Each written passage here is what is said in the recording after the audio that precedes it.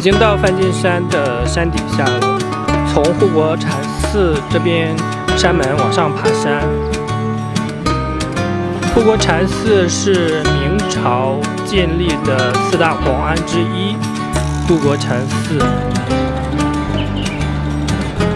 已经有几百多年的历史。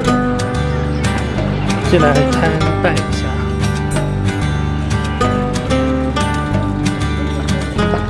一进来，它是三进院，正中间是天王殿，供奉弥勒佛，左右两边是钟楼。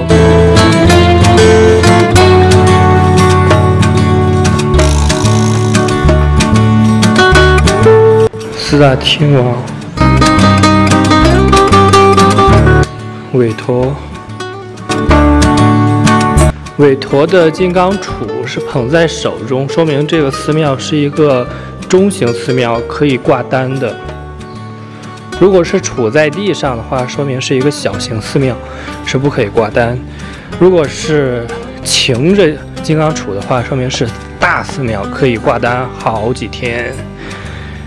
正中间是大雄宝殿。Hello，大家好，我是火哥，我现在所在的位置是印江县梵净山的西线。护国禅寺，大家参观一下这护国禅寺。护国禅寺在明代的时候是四大皇安之一，就是皇帝下榻的寺院。西线爬梵净山的起点就是从护国禅寺往上爬。这个禅寺蛮大的，它是依山而建，但是没有多少人，没有多少游客。我背后的话是一个钟楼，这边是佛堂。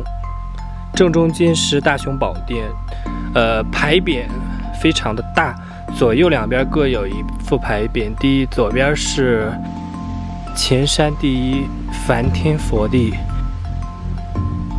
这个护国禅寺现在已经没有僧人了，呃，准确的说已经是荒废了。呃，明代建立的四大皇庵，其中有好几座都已经荒废了。包括这座护国禅寺，呃，里边的僧人不多，我只遇到一个。我现在去爬梵净山了。